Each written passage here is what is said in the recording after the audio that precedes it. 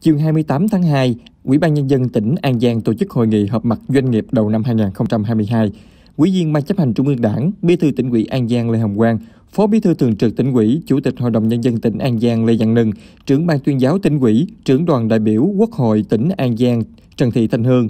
Chủ tịch Ủy ban Mặt trận Tổ quốc Việt Nam tỉnh An Giang Nguyễn Tiết Hùng, Phó Chủ tịch Ủy ban Nhân dân tỉnh An Giang Lê Văn Phước, Phó Chủ tịch Ủy ban Nhân dân tỉnh An Giang Trần Anh Thư, Phó Giám đốc Liên đoàn Thương mại và Công nghiệp Việt Nam chi nhánh tại Cần Thơ Võ Thị Thu Hương tham dự hội nghị. Tại hội nghị, các doanh nghiệp đã nghe lãnh đạo Sở Kế hoạch và Đầu tư An Giang báo cáo tóm tắt tình hình kinh tế xã hội tỉnh An Giang năm 2021 và các chính sách phục hồi kinh tế, hỗ trợ doanh nghiệp trong thời gian tới. Theo đó, các doanh nghiệp đã chia sẻ, hiến kế nhằm góp phần phát triển kinh tế xã hội của tỉnh, đồng thời đề xuất kiến nghị nhiều vấn đề để các ngành các cấp hỗ trợ doanh nghiệp trong quá trình hoạt động sản xuất kinh doanh trong thời gian tới.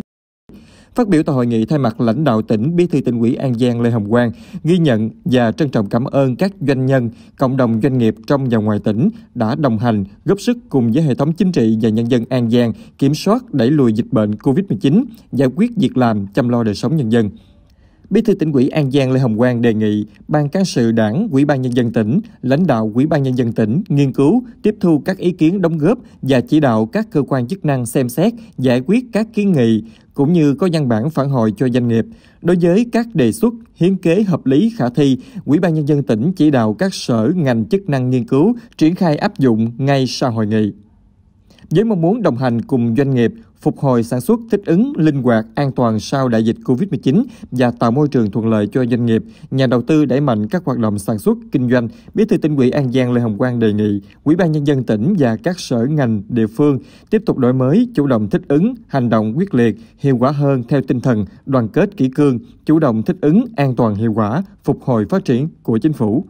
các ngành các cấp cả hệ thống chính trị cần triển khai hiệu quả nhất quán các biện pháp phòng chống dịch COVID-19, bảo vệ sức khỏe tính mạng của nhân dân, đồng thời tập trung tháo gỡ khó khăn, tạo điều kiện để doanh nghiệp sản xuất kinh doanh an toàn, thích ứng hiệu quả dịch bệnh, tiếp tục thực hiện các biện pháp cải thiện môi trường đầu tư, nâng cao năng lực cạnh tranh của tỉnh. Trong đó, người đứng đầu cấp quỹ đảng, chính quyền cần nêu cao tinh thần trách nhiệm, lắng nghe và kịp thời tháo gỡ khó khăn cho doanh nghiệp, người dân, lấy mục tiêu phục vụ người dân và doanh nghiệp là nhiệm vụ ưu tiên hàng đầu, mỗi cán bộ công chức viên chức cần đổi mới mạnh mẽ trong nhận thức và hành động khi thi hành công vụ, chuyển từ tư duy quản lý sang tư duy đồng hành và phục vụ. Cùng với đó tập trung thực hiện các giải pháp đẩy mạnh giải ngân vốn đầu tư công, nhất là các công trình dự án trọng điểm mang tính động lực. Hạ tầng kỹ thuật hỗ trợ kết nối dùng nguyên liệu, hạ tầng khu công nghiệp, dịch vụ logistics để thu hút đầu tư từ nay đến hết năm 2025, sẵn sàng về mặt bằng, sẵn sàng về nguồn lực, hỗ trợ cộng đồng doanh nghiệp triển khai dự án đầu tư đúng tiến độ. Về phía cộng đồng doanh nghiệp, Bí thư tỉnh ủy An Giang mong muốn các doanh nghiệp và các nhà đầu tư tiếp tục bám sát định hướng phát triển kinh tế xã hội, chủ trương thu hút đầu tư của tỉnh để định hướng sản xuất kinh doanh phù hợp, cũng như tham gia thực hiện các dự án của tỉnh đang kêu gọi đầu tư.